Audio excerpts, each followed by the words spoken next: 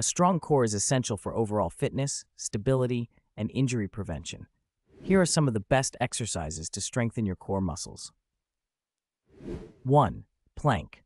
The plank is a fundamental core exercise. Start in a push-up position with your elbows on the ground. Keep your body straight and hold the position for as long as possible.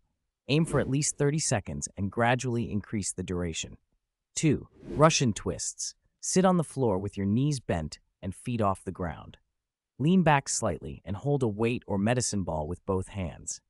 Rotate your torso to the right, then to the left, tapping the weight on the floor beside you each time. 3. Bicycle crunches. Lie on your back with your hands behind your head and legs lifted. Bring your right elbow towards your left knee while straightening your right leg.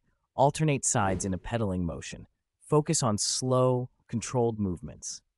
4. Mountain climbers. Start in a plank position. Bring one knee towards your chest, then quickly switch legs in a running motion. Keep your core tight and maintain a steady pace. 5. Leg raises. Lie flat on your back with your hands by your sides.